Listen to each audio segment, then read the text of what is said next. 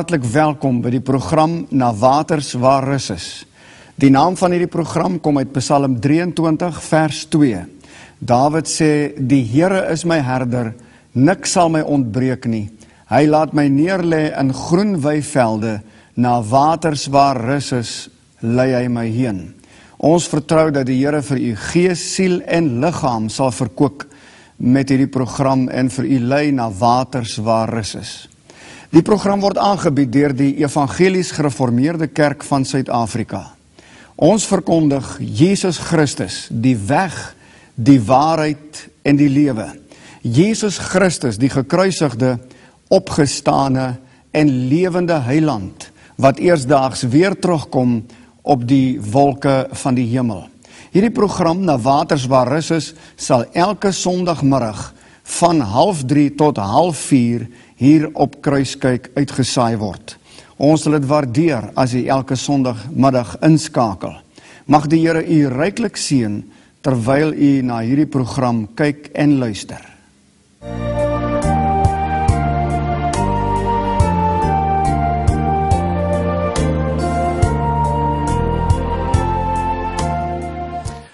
Dis vir my 'n wonderlike voorreg om u te verwelkom op Kruiskyk en hier in die Evangelies Gereformeerde Kerk Pretoria Oos gemeente. In die afwesigheid van Dominee Fred Houpt bring ek die woord van die Here vandag vir u en ons vertrou dat dit ook vir u elkeen tot seën wees en dat die Here afspraak ook met u het. Kom ons maak net ons harte stil en dan bid ons saam. Vader, baie dankie vir die wonderlike voorreg om u woord te kan hê en dat u woord lewe skep. Dat dit u woord is, Here, wat lewens verander. En dat geen mens se woord die krag het wat u woorde het nie en daarom aanvaar ons u woord as die onfeilbare woord van God wat lewendig, kragtig en skerper as 'n tweesnydende swaard is. En terwyl ons so bymekaar is, het ons 'n begeerte om te hoor wat die Gees aan die gemeente wil sê, veral wat hierdie onderwerp betref wat u op my hart gelê het om te bring by hierdie geleentheid wil ek bid dat u dit sal gebruik en dat dit sal wees tot u eer en u verheerliking Here. En as ons dit so kan stel dat daar 'n glimlag op u gesig sal wees wanneer mense u woord glo en wanneer hulle deur u woord agterkom hulle lewens het verander. Dankie dat ons kan bid vir ons land. Dankie dat ons kan bid vir kruis kyk Dankie dat ons kan bid vir elke gemeente wat die evangelie van Jesus verkondig, die ware boodskap verkondig, dat U dit sal gebruik tot eer van U wonderlike en U lieflike naam in Jesus se naam. Amen. In Lukas 5 vers 17 lees ons en op een van die dae was Jesus besig om te leer en fariseërs en wetgeleerdes het gekom uit elke dorp van Galilea en Judea en uit Jerusalem. Hulle het daar gesit en daar was krag van die Here om hulle te genees. Daar was krag van die Here om hierdie mense te genees terwyl hy besig was om hulle te leer oor sekere onderwerpe en uit sy woord uit. Ek wil graag na aanleiding van daardie teksvers praat oor die tema die krag van die Here om te genees. Die krag van die Here om te genees. Nou die viervoudige boodskap van ons kerk is naamlik en as jy nou na die inleiding gekyk het en vir u wat kruis kyk, kyk, sal sien daar kom sulke lettertjies in wat sê Jesus red, Jesus reinig, Jesus genees en Jesus kom weer. Dis die viervoudige boodskap van die kerk en dis die boodskap wat ook op my hart is en wat ons graag wil uitdra aan aan Suid-Afrika en sover as Afrika en selfs in die buiteland waar kruiskyk die opvangs het. En dis vir my 'n voorreg vriende om oor hierdie wonderlike onderwerp van goddelike genesing. Hoor mooi, goddelike genesing, nie geloofsgenesing nie. Geloofsgenesing is dat ek moet geloof hê en ek moet soveel in myself opwerk om die Here te kan vertrou vir genesing, terwyl goddelike genesing is 'n wonderwerk wat God kom doen op grond van sy woord wanneer hy daardie geloof in my hart kom werk. Dis 'n werk vriende wat God vandag nog vir mense kom doen. Weet jy as ek met mense praat oor goddelike genesing en daar kan heel waarskynlik mense sit in hierdie diens wat baie vra het rondom goddelike genesing. Daar kan mense wees op kruis kyk wat sê ek het vra rondom hierdie boodskap want hulle hoor sekere dinge en hulle sien sekere dinge en hierdie goed maak nie vir hulle sin nie. Terwyl Hebreërs 13 vers 8 baie duidelik sê dat Jesus Christus is gister en vandag en tot in alle ewigheid is hy dieselfde, wil ek vir u sê en ek het getuienis en ek het nie tyd om dit met u te deel nie. Ek wens daar kan 'n geleentheid wees wat ek vir u kan vertel wat die Here alles in my eie liggaam al vir my gedoen het en die wonderwerke wat die Here vir my gedoen het en vir my vrou gedoen het en vir my kind gedoen het. Maar wanneer ek met u oor hierdie saak praat, vriende, dis eintlik 'n reeks van boodskappe wat gebring moet word. Wanneer ek oor goddelike genesing praat, dan sê ek 'n mens moet eers praat oor die feit van dat mense sê, maar die eeu van wonderwerke is verby. Die Here genees nie meer op 'n wonder met 'n wonderwerk nie. Die eeu van wonderwerke is onomwonde nie verby nie, want God doen dit vandag nog. Hy genees vandag nog daar's daar mense vriende. Hier staan 'n voorbeeld van u. Ek het spieratrofie gehad en die dokters het gesê ek het 7 jaar om te lewe en die Here het my volmaak gesond gemaak. En so is daar ander mense wat daarvan kan getuig dat God ingegryp het in hulle lewe. Dat 'n God 'n wonderwerk vir hulle gedoen het. Die eeu van wonderwerke is voorwaar nie verby nie. Dis 'n hele boodskap op sy eie. Ek het nie tyd om dit met u te deel vanaand nie. Dan moet ek ook met u praat en 'n baie belangrike saak wat mense nie verstaan nie. En dit wat mense verwar mense die mekaar maak. Dat mense sê as jy kom vir genesing en die mense bid vir jou en jy het nie gesond geword nie, dan's daar iets fout met jou geloof, dan's daar sonde in jou lewe of wat dit ook al is. Luister, u daar's een ding wat u moet verstaan met betrekking tot goddelike genesing. En dit is die soewereine wil van God met betrekking tot goddelike genesing. Hoor hier. Hierdie mense wat in hierdie diens sit vandag. Mense wat op die televisie na my kyk. Die Here kom en hy sê vir elke ene op hierdie oomblik, hoor nou mooi, as jy nie weergebore is nie, as jy nie gered is nie, watse term jy ook daarvoor wil gebruik. En jy's nie gered nie en jy's nie weergebore nie, dan wil ek vir jou sê jy's buite die wil van God want God wil hê dat alle mense gered moet word. As jy hardkoppig is en jy vlug vir die Here tot vanaand toe nog, Dan kom die Here en hy sê jy's buite my wil. Jy moet gered word. 2 Petrus 3 vers 9 wat sê dis dat die Here wil hê dat alle mense gered moet word.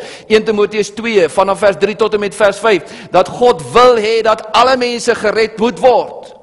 En die ander saak ook is as u op hierdie oomblik sit met sonde in jou lewe en jy's nie vervul met die Heilige Gees nie en jy lewe nie 'n heilige lewe nie dan sê ek vandag vir jou jy's buite die wil van God want 1 Tessalonisense sê duidelik vir jou en vir my. 4 vers 13 meen ek. Dit is die wil van God julle heiligmaking so as jy sit met sonde op hierdie oomblik in jou lewe watter sonde dit ook al is, dan jy buite die wil van God en dan wil God vandag hê jy moet daardie saak met hom regmaak. Maar ek lees nêrens in die Bybel dat die Here sê dis sy wil dat elke mens op hierdie oomblik gesond moet wees nie want daar is baie keer redes waarom mense siek is. Daar is baie keer dat God deur daardie siekte iets in 'n mens se lewe wil bereik en nou word hulle mislei. En nou word daar 'n soort van 'n verwagting by hulle geskep dat as hierdie persoon nou vir jou gaan hande oplê en vir jou gaan bid dan gaan jy gesond word. En dan stap daardie persoon daar van daar, hulle het vir hom gebid, hulle het vir hom hande opgelê, hulle het hom gesalf met olie en hy stap daar weg met ongeloof want hy was buite die wil van die Here. Dit was nie God se wil daardie dag vir sy genesing nie. Ek wil net hê jy moet mooi verstaan. Ek sê nie dat God jou nie wil gesond maak nie. Ek sê wel dat dit nie altyd God se tyd is en dat God iets wil bereik deur iemand se siekte in sy lewe. Dis iets wat jy moet verstaan, dis 'n boodskap op sy eie. En dan is daar natuurlik 'n onderwerp waaroor 'n mens moet praat. En dis hindernisse met betrekking tot goddelike genesing. Daar's baie redes waarom baie baie mense nie gesond is nie. En daar kan sonde in mense se lewens wees. Die Here sê julle ongeregtighede het 'n skeidsmuur geword tussen julle en julle God. En nou word God, goddelike genesing gepreek. Mense word gep vir mense uitgenooi en sê kom vorentoe ons gaan vir julle bid. En daardie persoon sit met sonde in sy lewe en die Here sê ek wil eers moet die sonde werk. Daar kan mense sit met betrekking tot onkunde in hulle lewe en hulle weet nie hoe werk goddelike genesing nie. Soveel sondes, onvergewensgesindheid. So is daar hindernisse vriende wat maak dat mense nie by goddelike genesing uitkom nie en dan natuurlik kom die Here en die Here sê julle kan gaan praat en julle kan gaan vra waar julle rondgaan. Ek het nou onlangs aan my gemeente toe vra ek wie van julle is hier? Wie van julle is hier wat kan getuig en sê dat die Here het my gesond gemaak? Ek weet van 'n genesing wat die Here my liggaam bewerk het en talle hande het opgegaan. Jesus is vandag nog nie genees hier. So ek wil nie hê jy moet negatief wees wanneer jy na die boodskap kyk nie. Want hoor mooi, daar is krag van die Here ook vandag hier om jou te genees. Waar kom hierdie krag vandaan?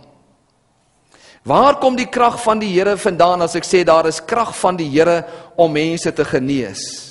Hy het hulle geleer, hy het hulle geonderrig rondom hierdie saak en daarom is dit baie belangrik om te, om geonderrig te word in hierdie wonderlike boodskap vriende.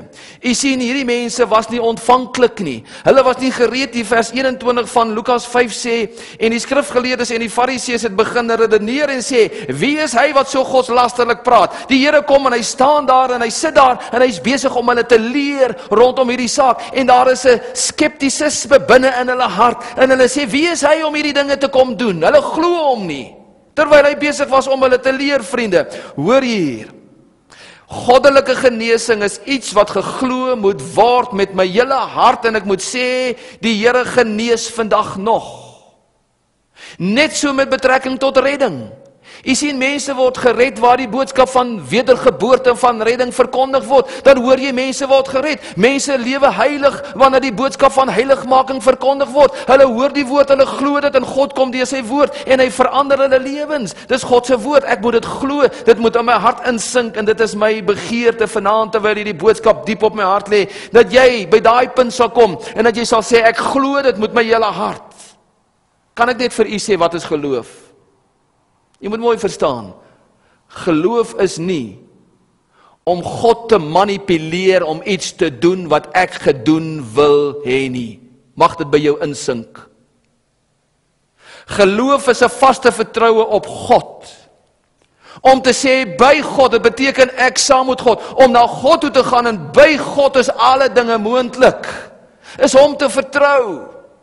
Dis wat geloof is. Hebreërs 11 vers 1 sê geloof is 'n vaste vertroue op die dinge wat ons hoop, 'n bewys van die dinge wat ons nie sien nie. En dan kom Hebreërs 11 vers 6 en hy sê sonder geloof is dit onmoontlik om God te behaag, want hy wat tot God gaan moet glo dat hy is en 'n beloner is van die wat hom soek. Nou gaan ons kom dis eintlik baie eenvoudig dit wat ek vanaand vir u gaan sê. Baie eenvoudig. As jy luister na die boodskap, dan sal jy sien waar lê die krag van die Here vir genesing. Dis verskuil vir baie mense. Maar wanneer ek dit vandag vir jou gaan sê en dit met jou gaan deel, gaan jy agterkom eintlik is dit eenvoudige waarhede, maar die krag lê in hierdie waarhede wat ek alleenlik kan vind in God se woord. Kom ons kyk daarna.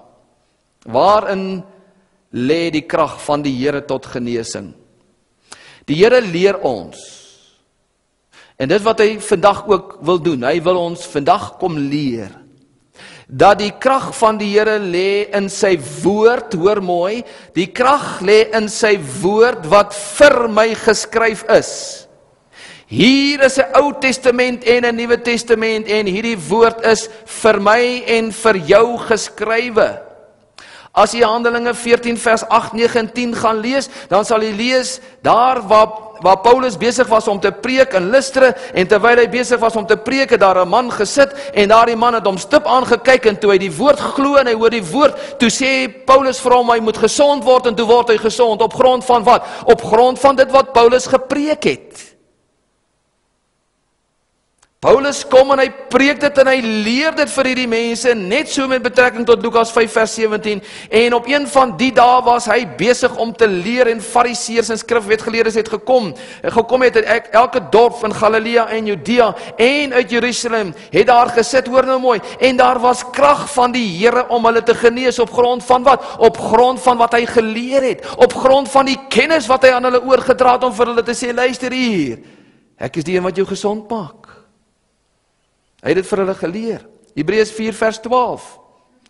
Sê want die woord van God is lewend en kragtig en skerper as enige tweesnydende swaard en dring deur tot die skeiding van siel en gees en van gewrigte en murg en is 'n beoordelaar van die oorleggings en die gedagtes van die hart. Psalm 107 vers 20, hoor mooi. En hy het sy woord uitgestuur dat hy hulle kon gesond maak en hulle uit hulle kuile uitred. So waar lê die krag?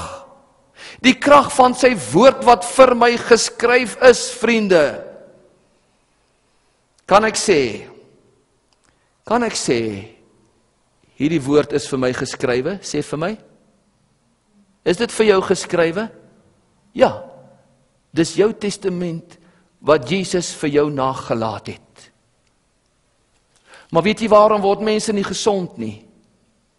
Omdat hulle nie die testament oopmaak en aanvaar nie. Net soos iemand wat 'n testament het en hy gaan nie na die prokureur toe en sê luister, dit behoort alles aan my en en en daai testament bly toe en hy lê daar in sy laai nie. Laat my dink aan die jong seun wat sy pa verloor het.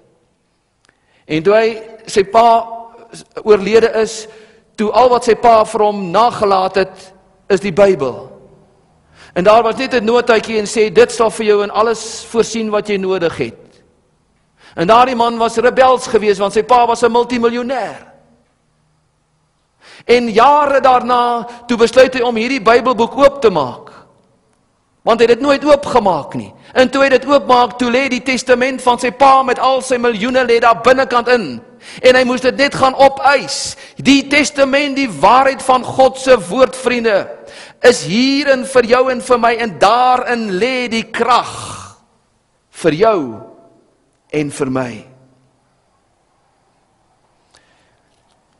En daarom kom die Here en hy praat uit sy woord uit en hy sê in Jeremia 1 vers 12 sê ek is wakker oor my woord om dit te volbring. Het u al die woord gelees of die woord gehoor? Terwyl iemand preek en terwyl die persoon preek, kom die woord van God reguit na jou toe en jy weet dis God wat met jou praat. Daar's 'n verskil tussen die logos woord en die rema woord. Die logos woord is die geskrewe woord en die rema woord is daardie woord wanneer God uit sy geskrewe woord met my praat spesifiek en vir my sê Johan Botha ek is die Here wat jou gesond maak vanaand. Numeri 23 vers 19 God is nie 'n man dat hy sy lieg of 'n mense kind dat dit hom sal berou nie, sal hy iets sê en dit nie doen of iets spreek en dit nie waar maak nie. Ek kan vir my kind leuns vertel.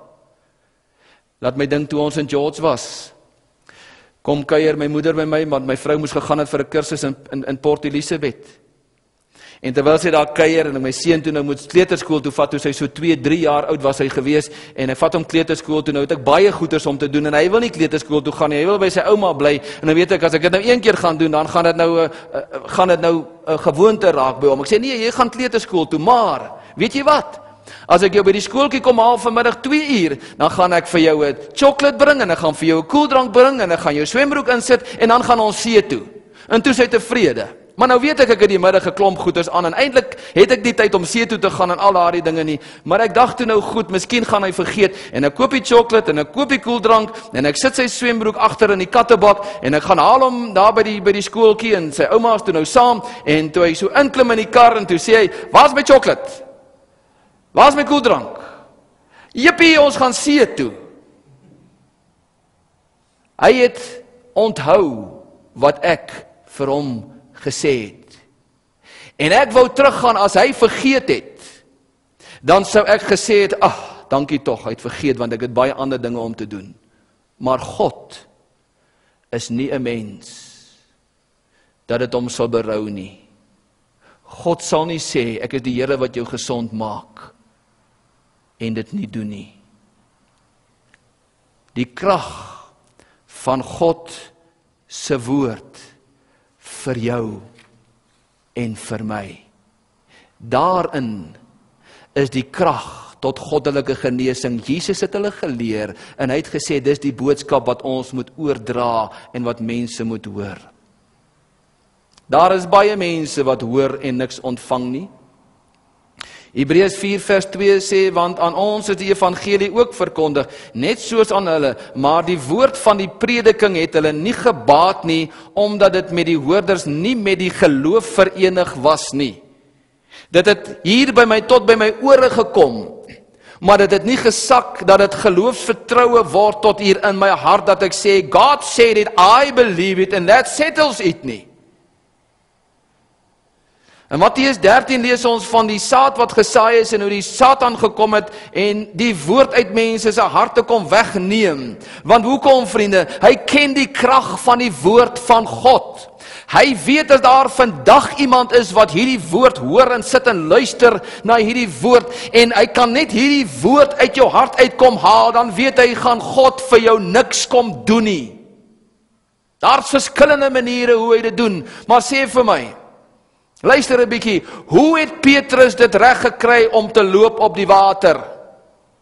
Deur die woord van die Here Jesus toe Jesus vir hom sê in Matteus 14 vers 29 en Jesus sê vir hom kom. Net hierdie woordjie kom het die krag gehad om vir Petrus uit die boot te laat klim en hy loop op die water. Sê vir my, waar het die krag vandaan gekom vir Lazarus om lewendig te word terwyl hy daar dood gelê het 3 dae al en hy het al geruik sê die woord van die Here vir u en vir my met ander woorde daar was geen hoop vir hom nie. Dan lees ek in Johannes 11 vers 43 en vers 44 hoe die Here vir Lazarus gesê het Lazarus kom uit deur die spreek van 'n woord van die lewende God word Lazarus gesond. Die krag van sy woord. Johannes op Patmos Openbaring 4 Vers 1 en vers 2 na hierdie dinge het ek gesien kyk 'n geopende deur in die hemel. En die eerste stem wat ek soos 'n basuin met my hoor spreek het het gesê kom op hierheen en ek sal jou toon wat na hierdie dinge moet gebeur. En dadelik was ek in die gees en kyk daar staan 'n troon in die hemel. En een wat op die troon sit wat het gemaak dat Johannes in 'n oomblik weggevoer word in die teenwoordigheid van God? God se woord Die krag van sy woord kom op hierheen. Weet jy wat sal gebeur by die dag wanneer die wegraping gaan plaasvind wanneer die Here sy bruid kan gaan kom haal van hierdie aarde af? Die Bybel sê en daar sal 'n besuin wees wat sal klink Hoor wat sê 1 Tessalonisense 4 vers 16, want die Here self sal van die hemel neerdal met 'n geroep by die stem van 'n aartsengel en met die geklank van die basuin van God. Ek weet nie wat hy gaan sê nie, maar ek weet dit, hy gaan 'n woord spreek en al die kinders van die Here gaan van hierdie aarde af weggeruk word, weggeneem word van hierdie ou goddelose lewe waarin ek en jy lewe. Sê vir my, sien jy uit na daardie dag? Weet jy wanneer gaan dit gebeur? In 'n oomblik, in 'n oogwink, wanneer Jesus miskien gaan sê kom my kinders en die krag van daardie woord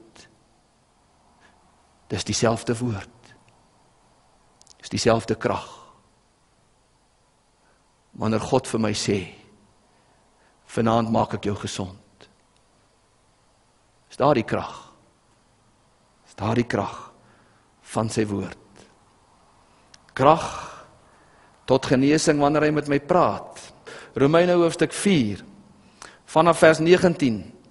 En sonder om te verswak in die geloof het hy al was hy omtrent 100 jaar oud nie gelet op sy eie liggaam wat al reeds verstorwe was en op die verstorwe toestand van die moederskoot van Sara nie en hy het nie deur die ongeloof aan die belofte van God getwyfel nie maar hy is versterk deur die geloof het en aan God die eer gegee. Abraham het geglo wat God vir hom gesê het hy het nie getwyfel aan die belofte van God nie. 2 Timoteus 3 vers 16 en vers 17 sê die woord van die Here. Hy sê die hele skrif is deur God ingegee en is nuttig tot lering, tot weerlegging, tot regwysing, tot onderwysing in die geregtigheid sodat die mens van God volkome kan wees vir elke goeie werk volkome toegerus. Dis die krag van God se woord vir elke werk toegerus. Probleem van die tyd vriende is dat mense nie meer die stem van die Here hoor nie. As jy Johannes 10 vanaf vers 1 tot 5 gaan lees, dat die, dan sê die Here my skape hoor my stem en hulle luister na my stem. En hoe sal ek God se stem hoor as ek nie sy woord lees nie? Die krag kom uit sy woord uit, nie wat mense sê nie, nie 'n opsweping van mense en mense emosioneel op te kom werk en dan kom hulle vorentoe en dan ontvang hulle so 'n genaamd iets nie, maar wanneer hulle God se woord glo en dit verstaan en die woord van die Here die krag in hulle lewe is dan is dit permanent en nie tydelik nie. Psalm 119 vers 105 sê u woord is 'n lamp vir my voet en 'n lig vir my pad. Ek haas my. Die volgende krag van die Here tot genesing is die krag van sy naam voor my. Krag van sy naam. Hoor wat sê Spreuke 18 vers 10. Hy sê die naam van die Here is 'n sterk toring en hulle vlug daarin. Dis die naam van die Here wat vir my hierdie krag gee om die naam van die Here aan te roep. Naam en krag vriende is sinoniem in die woord van die Here. As jy Johannes 16 vers 23 en vers 24 lees, dan staan daar: "Voorwaar, voorwaar ek sê vir julle, alles wat julle die Vader sal vra in my naam, sal hy julle gee en tot nou toe het julle niks in my naam gevra nie. Bid en julle sal ontvang sodat julle blydskap volkome kan wees." As 'n mens iemand se naam hoor, as ek nou vir jou noem Karel van der Merwe, maak dit vir jou klokkie, beteken dit vir jou iets? Sê vir my. Niks. Goed. En as ek nou vir jou sê PW Botha, lei lei dit 'n klokkie. U het hom geken, u weet wie hy is. Nou vanaand toe ek nou toe ek nou voor ek na die diens toe gekom het, toe moet ek 'n das aantrek en ek vat toe hierdie das en ek trek hom aan en as ek na hierdie das kyk, dan dink ek aan een naam, dan dink ek aan PW Botha want dis 'n das wat hy vir my gegee het. So ons koppel 'n persoon en sy profiel en wie hy is en wat hy vir my beteken het aan 'n naam. En net so wanneer ons 'n sekere naam noem van 'n sekere chirurg of van 'n sekere dokter, dan sê ons jy moet na daardie dokter toe gaan en ons is ons het vertroue in die naam van hierdie persoon. Ek het hom nog nooit gesien eers nie, maar ek weet dat hierdie persoon as ek sy naam hoor, weet ek hy is 'n goeie dokter. Die gebruik van 'n naam het 'n groot invloed op 'n mens. Wie en wat sien ek as ek die naam van Jesus hoor? Daarom vriende het die naam van die Here groot krag en invloed want in Matteus 1 vers 21 staan daar en julle moet hom wat noem? Jesus noem. Jesus beteken verlosser. En julle moet hom Jesus noem want dit is hy wat sy volk van hulle sondes sal verlos. Dan is daar 16 verbondsname. En so leer ek die Here God ken deur sy verbondsname. En een van die 16 verbondsname Eksodus 15 vers 26 is ek is die Here wat jou gesond maak dit is Jehovah Rafa en so leer ek hom ken as die Here wat my gesond maak. Die eerste Christene het geglo dat daar krag is in sy naam. As jy Handelinge 3 vers 6 en vers 18 gaan lees dan dan Handelinge verskoon tog ja Handelinge 3 vers 16 3 vers 6 staan daar, maar Petrus sê silwer en goud het ek nie, maar wat ek het, dit gee ek vir jou in die naam van Jesus Christus, die Nasareëner, staan op en loop. Johannes 14 vers 12 tot 14 kan jy gaan lees. Paulus het dit geglo Handelinge 16 vers 18 as hy gesê het in die naam van die Here. Die Satan self weet dit Handelinge 4 vers 16 tot 17 hoe hy probeer het om die mense weg te bring en gesê het dat julle moenie meer in hierdie naam preek nie. Kom ons maak hulle stil. Ons sê vir hulle moet net nie meer in die naam van Jesus uitgaan nie want hy het geweet wat is die krag van die naam van Jesus. Ek weet nie van u nie, maar daar was kere gewees wat ek die naam van die Here moes aanroep in situasies. En dat die Here dit so verander het. Ek het nog nie baie te doen gehad met mense wat duiwelbesete is nie. Maar ek onthou terwyl ek in Springs was, was daar 'n jong man gewees wat ons daar gehad het en eh, die preek my kollega het hom saam aangebring daar en daar het in die huis op en af gehard want hy moet so diep stem gepraat en snaakse dinge gedoen en ons was later aan vier predikante daar En my vrou bel vir tannie Joy Kronee en sy sê al wat jy moet doen is vat die woord van die Here, haal die woord van die Here aan en gaan na die skrif toe. In Filippense staan daar in die naam Filippense 2 vers 10 in die naam van die Here sal elke knie gebuig en elke tong sal bely dat hy die Here God is. En ek kan onthou hoe hy daar in die gang afgestorm gekom het op my en ek het die Bybel oop en ek sê vir hom ek sê vir jou in die naam van Jesus staan stil. En hy het gaan stil staan en my so gekyk en ek sê in die naam van Jesus die woord van God sê elke knie sal buig en elke tong sal bely. Buig jou knie, dan buig hy sy knie dan gaan staan hy daar op sy knie en dan sê waar is ek nou? Waar is ek nou? Praat hy met 'n normale stem stem en dan gaan sit hy daar op die bank en dan werk hulle weer met hom. En dan die volgende oomblik dan begin sy oë weer so snaaks te raak en hy sê hier kom hy hier kom hy. En dan praat hy weer met so diep stem maar sê ek vir jou in die naam van Jesus jy buig jou knieë. Dis die krag van die naam van Jesus. Kan ek vir jou sê Ons beweeg bietjie weg van goddelike genesing af en ek sê vir jou in die tyd waarin ek en jy lewe, ek hoor van baie getuienisse van mense wat aangeval word en mense wat wat gruwelike dinge oorgekom het wanneer daardie mense gekom het en gesê het in die naam van die Here Jesus en Jesus se naam aangeroep het dan het die vyand gevlug.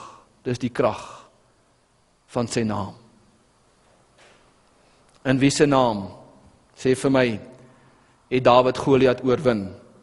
1 Samuel 17 vers 45 Ek kom na jou toe in die naam van die Here die God van die leerskare is in hierdie naam wat ek kom. En in sy naam het hy die reus verslaan. Die krag van sy naam voor jou. As ek dit so kan stel daar's 'n deur. En op daardie deur staan daar Jesus Christus. En ek het die vrymoedigheid om daardeur in te gaan en te sê dis in sy naam wat daar vir my genesing is. Jy kan miskien 'n dokter se naam op daardie plaatjie sien. En jy het baie vertroue op hom en ek wil vir jou sê daar is baie meer vertroue wat jy moet hê in die naam van die Here Jesus Christus, want alles wat jy in sy naam vra, sê die woord, daarin lê sy krag in sy naam. In die volgende plek, waar lê die krag? Die krag lê in sy bloed wat ek oor my kan pleit, wat my beskerm en wat my genees. Hoor jy baie keer het jy al gehoor dat mense sê ek pleit die bloed van die Here oor my. Sommige mense sê maar jy kan dit nie bid nie. Hoe kan jy kan pleit dat die bloed van die Here oor my? Waar kom dit vandaan? Dit kom van Eksodus af. Eksodus 12 vers 13 en vers 23 waar die Here vir die volk gesê het: "Vat 'n lammetjie en slag die lammetjie en wanneer julle die die die die bloed aan die deurposte gestryk het, dan sal die verderwer by julle verbygaan. Dis die bloed wat oor daardie huis was. Dis die bloed wat hulle beskerm het dat die eersgebore nie gesterwe het nie. En daarom kan ek gaan na die Here toe en vir die Here sê: "Here, deur u bloed is daar vir my genesing." Hoe Hoekom? Want U het aan die kruis vir my gesterwe. Wat gebeur? Wat het gebeur toe die Here Jesus aan die kruis gesterwe het vir jou en vir my vriende? Dit beteken dat hy daar aan die kruis gesterwe het vir my sondes, vir my siektes en vir my smarte, dat ek na hom toe kan gaan, net soos wat ek met my sonde na hom toe gaan en vir hom kan vra, Here, kom reinig my van my sonde. Hoe weet ek dit? Ek weet dit want ek glo dit op grond van sy woord. Net so kan ek want die Here sê, deur wie se wonde jy genees is deur die kruiswerk van die Here Jesus Christus wat plaasgevind het. Weet u vriende, Jesaja 53 vers 5 sê dat daar deur die wonde van die Here vir ons genesing gekom het en dat die Here ons krankhede op hom geneem het. En nou sê die mense ja, maar Jesaja 53 verwys nie na die Here Jesus nie. Ek weet nie hoe die mense so dom kan wees, die wat so slim is nie. En en hoe wat maak hulle met Matteus 8 vers 16 en vers 17? Want Matteus 8 vers 16 en vers 17 sê sodat vervul sal word wat deur die profeet Jesaja gespreek is dat hy al ons krankhede op hom geneem het. Wat sê hy? Vers 16 sê en hulle het baie na hom gebring wat van duiwels besete was. Dit is Matteus 8 vers 16 en met die woord en met die gees met die woord uitgedryf en almal wat ongesteld was, het hy gesond gemaak. Hoekom? Sodat vervul sou word wat gespreek is deur Jesaja die profeet toe hy gesê het: Hy het ons krankhede op hom geneem en ons siektes het hy gedra. Waar? Sê vir my waar? Aan die ruwe ou kruis is sy liggaam verbrysel en het sy bloed gevloei vir my krankhede vir my sondes ook ja.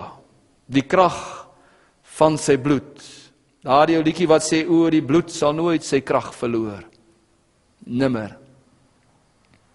Halleluja, lied 177 sê deur die aardse duister bestrale kruis my lewensbaan. Besef u die krag van die bloed van die Here? Dat die Here vanaand deur sy vandag deur sy kruis dood wat hy vir jou en vir my gedoen het aan die kruis een woord kan spreek en sê op grond van sy bloed aan die kruis wat vir my gevloei het op grond daarvan kan ek vandag gesond word want God se woord sê dit vir my. Die krag van die kruis 2000 jaar gelede het vandag nog 'n invloed op mense se lewens. Daarom sing ons die kruis bestraal my lewensbaan. Ek beweeg in die sfeer van sy kruis en die skaduwee van sy kruis. Ek noem, noem vir 'n voorbeeld Hulle sê as jy 'n waterstofbom gooi op 'n plek, dan sal daar vir 'n radius van 20 tot 'n radius van 20 km sal al die mense dood wees. En daardie area sal vir 25 tot 50 jaar lank radioaktief wees. Met ander woorde, as mense in daardie omgewing gaan, dan slaan daar seer op hulle uit en allerlei dinge wat met hulle gebeur, want hulle is in daardie gebied. Dit het 'n effek op hulle. En nou sê die skrif: Die kruis bestraal my lewensbaan en vir 2000 jaar lank het hierdie kruis nog steeds dieselfde krag as die dag toe die seun van God gesterf het aan die kruis. Kyk na die kruis en na 2000 jaar Romeine 3 vers 25 hom met God voorgestel in sy bloed as 'n verzoening deur die geloof. 1 Petrus 2 vers 24 deur wie se wonde jy genees is nie sal word nie is. 'n afgehandelde saak Jesus het dit reeds gedoen. Die krag van die bloed oor my om my te genees. Dan kom ek by seker van die wonderlikste waarhede en dit is die krag van sy gees. Hoor mooi in my. Waar kom woon die gees van God wanneer ek weer gebore word? Hy kom woon binne in my. Romeine 8:16 sê dat die gees van God wat in my woon getuig saam met my gees dat ek 'n kind van God is As ek die gees van die Here nie het nie, dan het en dan behoort ek nie aan hom nie. En daarom is dit nodig dat ek weer gebore sal wees sodat ek die stem van die Here kan hoor, lees sy woord en kan weet wat Jesus aan die kruis vir my gedoen het en weet ek kan sy naam aanroep want deur sy gees in my binneste ontvang ek hierdie krag, vriende. Romeine 8 vers 11 wil ek graag vir u lees. Daar staan en as die gees, hoop met 'n hoofletter van hom wat Jesus uit die dode opgewek het in julle woon, dan sal hy wat Christus uit die dode opgewek het, ook julle sterflike liggame lewend maak deur sy gees, hoor mooi, wat in julle woon. Dit beteken ek lewe 'n heilige lewe. Ek lewe 'n wandeling met die Here Jesus. Kan ek vir u iets noem, vriende? Ek het die gees van God nodig vir elke tree wat ek gee. Ek is veronderstel om elke oomblik in kontak te wees met die Heilige Gees, want weet u die duiwel wag net vir 'n oomblik wanneer ek nie waaksaam is nie. En dan kom hy met sy siektes en met sy aanvalle. Ek het 'n uitkyk in hierdie lewe en ek sê nie dat ek nooit siek word nie. Wat gebeur baie keer met my vriende, maar ek kan vir die telke male en getuienisse gee van wanneer daar 'n simptoom in my lewe was, wanneer daar 'n pyn is en wat daar ek voel maar hier kom 'n krankheid, dan sê ek maar waar kom dit vandaan? En die eerste ding wat ek doen is ek sê ek weerstaan dit in die naam van die Here Jesus Christus. Hoekom? Want dis die gees van God wat binne in my woon wat my liggaam wil lewend maak. Ek gaan dit nou vir jou verduidelik. Ek en jy as kind van God het die verantwoordelikheid om met God te wandel en as ons met hom wandel, as ek dink aan Tannie Joy Kronje, is hier mense wat Tannie Joy Kronje ooit geken het. 'n Ou godsman sê lewe nog, ek weet nie waar sy op hierdie oomblik is nie, maar toe ek in Springs was, het ek al gedink, nee, dis totsiens moet daar, dan val sy daar van daai trappe af. Dan sê ek, goed, dis nou die laaste van tannie Joy Kronee, maar as ek hoor dan sy weer aan met haar traktaatjies, dan gaan sy weer aan en dan vertrou sy die Here vir genesing soos Dominee Chris Kronee dit gedoen het in die verlede, die boodskap van goddelike genesing. Hoekom? Is die gees van God wat in haar woon. Ek onthou dokter Johannes van der Kolf, ek weet nie wie van julle hom ken nie. Ek het jare gelede met hom te doen gehad, omtrent 10 jaar gelede, 15 jaar gelede seker, meer as dit, 1992, 93 in daardie omgewing. Toe kom hy en hy het 'n geweldige hartkwaal gehad. Ons het gevrees vir sy lewe maar hy die Here vertrou vir genesing en hy het weer staan en God gebruik hom tot vandag toe nog op die sendingveld en om om briewe te skryf en wonderlike werk vir die Here te doen. Die gees van die Here binne in my wat weerstand bied teen die krankheid wat daar in my liggaam kom. Want die skrif sê dat die gees wat Jesus uit die dode opgewek het, ons sterflike liggame lewend sal maak. Romeine 8 vers 26 En net so kom ook die Gees ons swakhede te hulp want ons weet nie reg wat ons moet bid nie maar die Gees self tree van ons in met onuitspreeklike sigtinge. Kom ek verklaar vir u die twee teksverse Romeine 8 vers 26 en Romeine 8 vers 11 en dis nie my slimheid nie, uh, dis dis TJ McCrossen wat 'n Griekse deskundige is wat sê Romeine 8 vers 26 hierdie woordjie dat die Gees kom ons swakhede te hulp is die woordjie asthenias En hierdie woordjie asthenias is dieselfde woord wat gebruik word in Matteus 8 vers 17 wat wat staan dat hy ons krankhede op hom geneem het. Onthou u presies dieselfde woorde. So die Gees kom ons krankhede te help. Die Engels vir hierdie woordjie swakhede is infirmities. En Dykes se kommentaar verklaar dit en hy sê feebleness of mind and body, melody, frailty, disease, sickness, weakness. Dit het Jesus alles gedra aan die kruis vir jou en my. Ons is besig om met u te praat oor die krag van sy gees in my. Hy het ons swakhede, nou kom ons by die volgende woordjie, te hulp. Die woordjie te hulp is sien anti lemba netai. Dit bestaan uit die woordjie sien in die Grieks en dit is beteken saam en anti is teen en lambano is om te neem. Met ander woorde as ek dan hierdie teks verklaar dan beteken dit hoor nou mooi om saam met die Heilige Gees weerstand te bied teen die siekte wat in my liggaam is. En ek sê weer Ek het my telke male op 'n swakheid in my lewe ondervind en wanneer daar 'n krankheid kom of dit 'n griep is of dit wat ook al is dan het ek nie vrymoedigheid om te sê ek weerstaan dit nie. Hoekom? Want daar was iets tussen my en die Here. Ek kan dit nie weerstaan nie. Ek het nie vrymoedigheid nie. Ek het nie die krag van die Gees in my binneste nie. Nou kom ons by Romeine 8 vers 11. Hy sê dat hy ons sterflike liggame lewend maak. Die woordjie vir liggaam hierso is die woordjie thneta. En dit word nêrens in die Bybel geskrywe vir gebruik vir 'n dooie liggaam nie. Vir 'n dooie liggaam is die woordjie nekros. Met ander woorde, dit het nie betrekking hier op die opstanding wanneer die Here by die opstanding ons dooie liggame gaan lewendig maak nie. Nee, dit het te doen met ons liggame terwyl ons hier op aarde lewe dat hierdie gees ons liggame lewend maak. Hoor wat sê Calvin? Kan Calvin sê met betrekking tot hierdie teks, hy sê the quickening of the mortal body here cannot refer to the resurrection of the saints but must mean a giving of life to their bodies while here upon earth through the spirit. Lewend maak is die woordjie zoopoi essay. Dit bestaan uit die woordjie zoe wat lewe is en poieo is ek maak. Met ander woorde, die Heilige Gees het krag om my liggaam lewend te maak. Wat doen siekte? Siekte breek 'n liggaam af. Johannes 8 vers 44 sê die duiwel is 'n moordenaar, hy's 'n mensemoordenaar van die begin af en hy's 'n leienaar en hy probeer om hierdie woord uit my hart uit te steel en hy probeer om sonde in my lewe in te bring sodat ek nie die gees van die Here het en vrymoedigheid en staande kan bly teen die liste van die duiwel nie.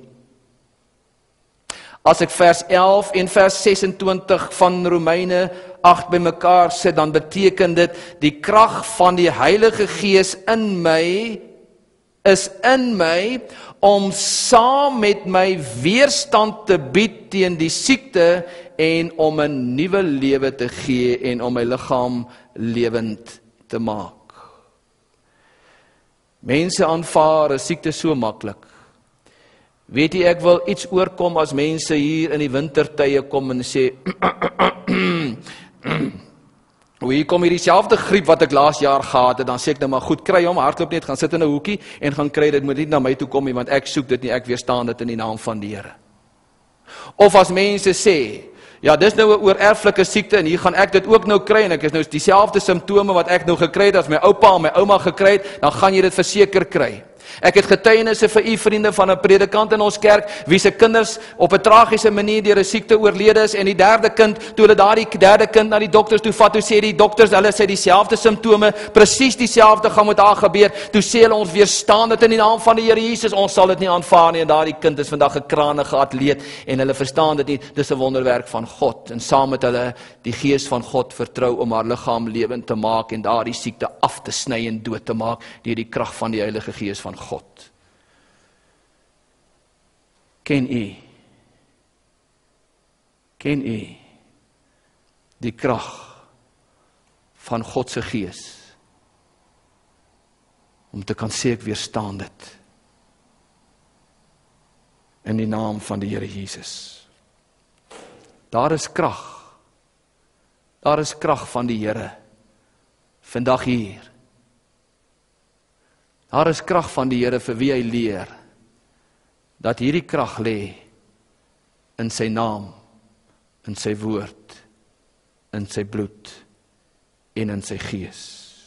Hierdie krag lê in wat hy vir my sê deur sy woord. Wie hy is vir my deur sy kruisiging. Deur dit wat hy gedoen het deur sy bloed. Sy naam wat hy vir my gee en deur die persoon wat hy gestuur het om in my te kom woon en my daardie krag te kan verleen.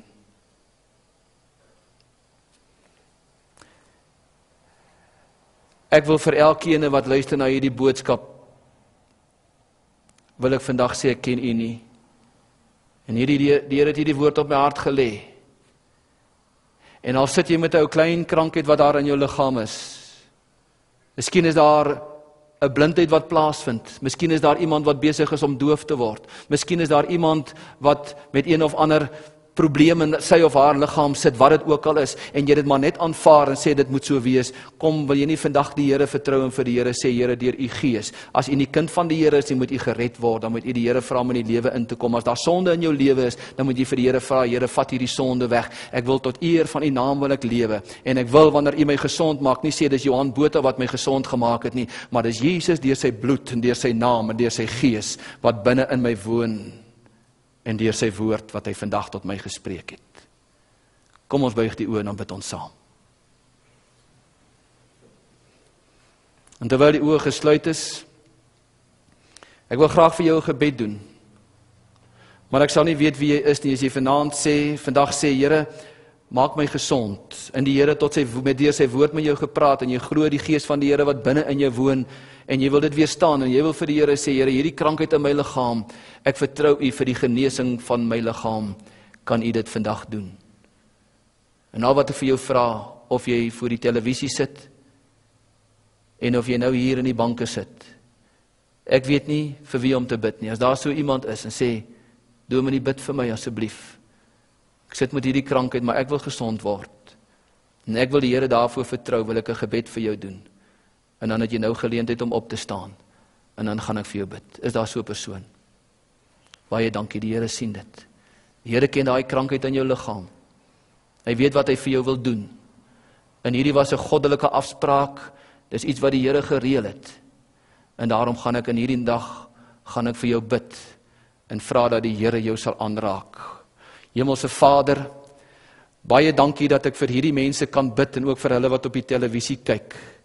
Ek weet daar's soveel mense wat sit met krankhede en u ken ook die omstandighede van hierdie mense.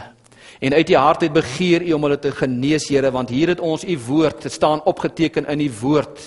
Ek het jou my naam gegee, ek het gesterwe vir jou.